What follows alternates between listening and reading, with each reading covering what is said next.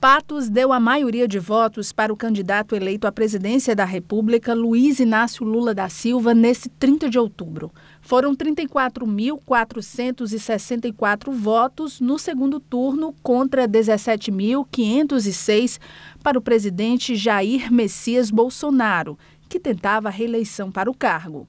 O coordenador da campanha do petista em Patos, Lenildo Moraes, recebeu a nossa equipe na manhã dessa segunda-feira e fez uma avaliação da vitória do agora presidente eleito Lula. Ele agradeceu ainda a votação, apoio e união de todos que se engajaram na defesa da candidatura do ex-presidente. O Brasil não suportava mais é, mais quatro anos de desastre, né, de homofobia, de desmatamento na Amazônia, não aguentava mais o desemprego, os pobres a cada dia que passa mais aumentando, então o Lula unificou todas as forças democráticas desse país, empresários, eh, movimentos sociais, partidos, políticos de diferentes correntes, para que a gente pudesse renovar o Brasil e Lula ganhou a gente faz uma avaliação que foi uma eleição muito difícil, mas felizmente, graças a Deus, o povo deu a resposta e elegeu Lula. Aqui em Patos, eh, a gente fez uma campanha muito bonita, unificamos também as forças políticas da nossa cidade. Aqui eu quero fazer um agradecimento a todos aqueles de diferentes partidos eh, que tiveram conosco, eh, de diferentes correntes políticas, empresários, cristãos de diferentes linhas religiosas é, os militantes né, dos partidos, que foram a grande vitória né, nossa, que foi a participação ativa dos militantes, homens, mulheres, jovens, negros, pretos, LGBTQIA. Então, é uma vitória do povo de, de nossa cidade. Muito importante a vitória de Lula aqui em Patos, é, de forma muito ampla.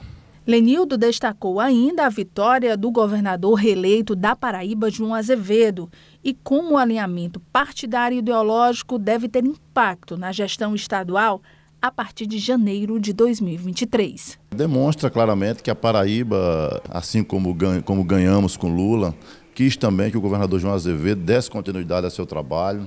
É, vai ser uma parceria muito importante entre Lula e João Azevedo.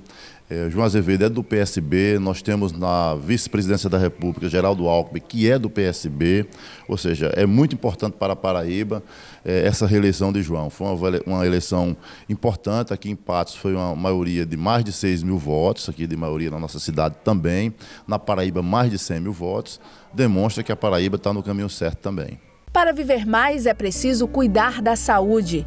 Doutora Felícia Crispim, médica endocrinologista e metabologista, atua há 12 anos na prevenção, diagnóstico e tratamento de doenças como diabetes, obesidade, colesterol, problemas da tireoide, osteoporose, climatério, síndrome do ovário policístico, distúrbios do crescimento e desenvolvimento. Profissional renomada que, com análise e estudo individual de cada caso, proporciona aos pacientes qualidade de vida e bem-estar.